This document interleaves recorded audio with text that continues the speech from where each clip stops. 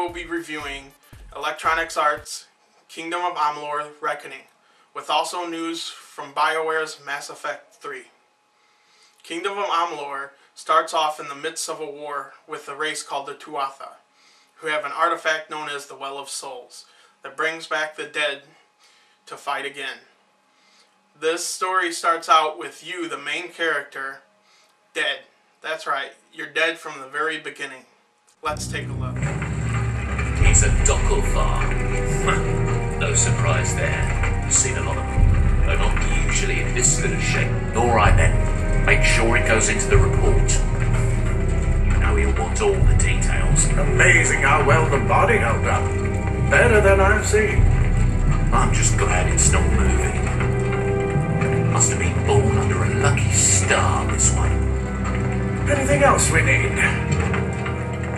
Unless you'd like to name him, I think we're done. Put him with the others.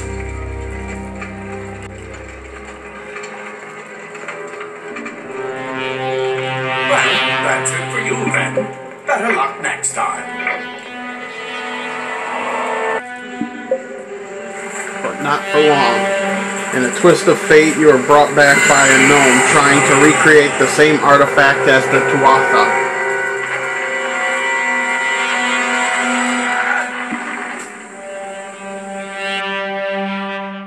Awake to find the Tuatha attacking and destroying the newly made well. The first quest teaches you the gameplay. The first three types of combat might, finesse, and sorcery. Then lets you go out into the world.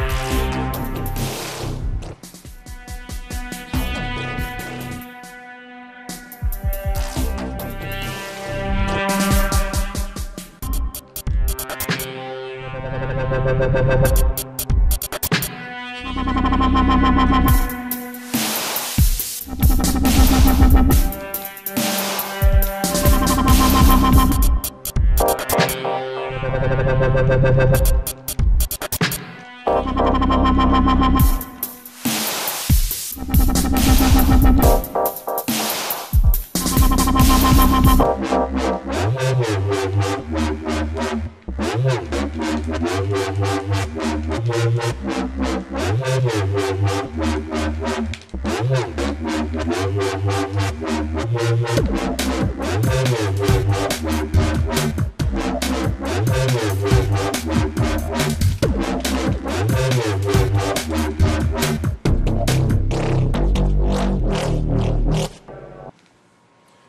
game is good, but it has its flaws.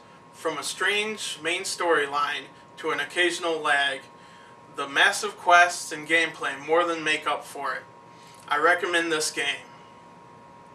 Fellow geeks, the time has finally come. Mass Effect 3 demo has finally been released. BioWare gives us a taste of story, gameplay, and multiplayer to hold us off to the release in March. You know I'm going to get my copy. Now let's go to viewer mail. Captain Upload asks how race affects your gameplay in Skyrim. Each race has a special power, and some skills are set to 20 instead of 15. However, this does not affect the way you play the game. It does affect how NPCs will interact with you. Thanks for the question. If you have a question, email us at gamecord at live.com and maybe we'll e- uh, answer your email on an upcoming episode. Now remember, get plugged in and stay connected.